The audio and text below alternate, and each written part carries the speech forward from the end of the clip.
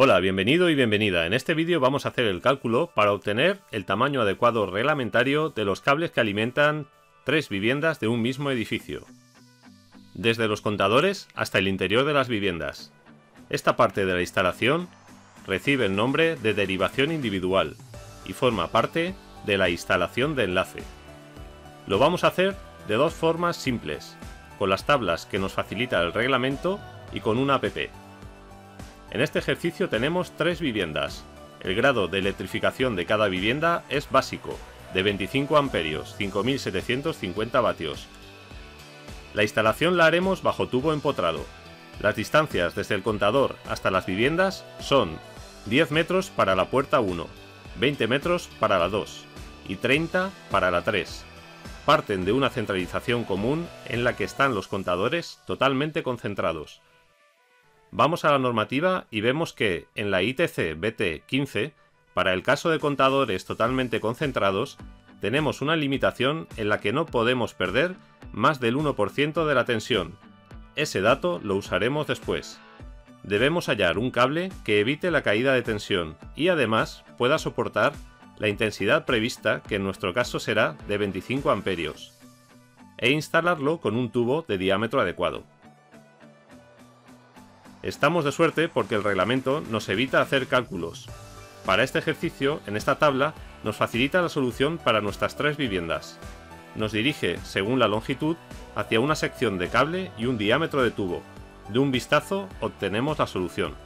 Así con este método, tenemos que, para longitud menor de 14 metros, corresponde sección de 6 milímetros de cable y tubo de diámetro de 40. Para longitud menor de 23 metros corresponde sección de 10 milímetros de cable y tubo de 40.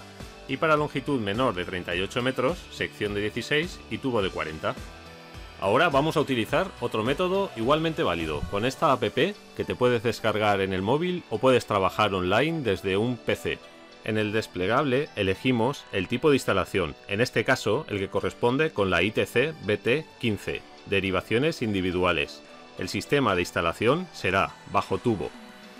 En el segundo desplegable seleccionamos Empotrado en la pared. Hacemos clic, confirmamos y la app nos propone un cable con unas características que son adecuadas al reglamento. Cable con aislamiento de 450-750 voltios de alta seguridad, libre de halógenos, no propagador de la llama y con baja emisión de humos. Estas características lo definen como adecuado para derivaciones individuales. Elegimos servicio monofásico. Tensión 230 voltios. Coseno de Phi 0.9 que es el que recomienda el reglamento.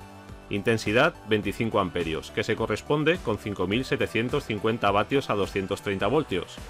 Caída de tensión, la reglamentaria en nuestro caso, 1%. Esto garantizará una pérdida máxima de 2.3 voltios. Y longitud, entre contador y caja de protecciones interior de la vivienda, 10 metros. Calculamos y obtenemos que la sección mínima permitida es de 6 milímetros cuadrados de sección. Como vemos, es el mismo resultado que obtuvimos con las tablas. Y fíjate en que, aunque el cable de 4 soportaría los 25 amperios, no es válido porque causaría una caída de tensión mayor. Por ese motivo, estamos obligados a montar cable de 6. El cálculo es correcto, también podemos descargar un resumen con las características técnicas del cable y la justificación del cálculo para anexarlo a nuestro presupuesto. Con la segunda vivienda hacemos el mismo proceso. Seleccionamos todo exactamente igual. Monofásica, 25 amperios, 1% de caída de tensión, y el cambio es que en este caso son 20 metros de longitud. El resultado pues, por ser mayor distancia, es una sección de cable mayor, para compensar las pérdidas por caída de tensión. El mismo cable con la misma sección que habíamos obtenido con las tablas del reglamento. Para la tercera vivienda lo único que cambia es la longitud, 30 metros. Esta vez la sección mínima aumenta a 16 milímetros con el fin de garantizar un buen servicio. Y ahora te propongo que hagas lo mismo, utilizando estos métodos rápidos para tres viviendas monofásicas de electrificación elevada de 9200 vatios, con las mismas distancias 10 metros, 20 metros y 30 metros. Esto te servirá tanto para obra nueva como para reforma. Nos vemos en el taller. Hasta luego.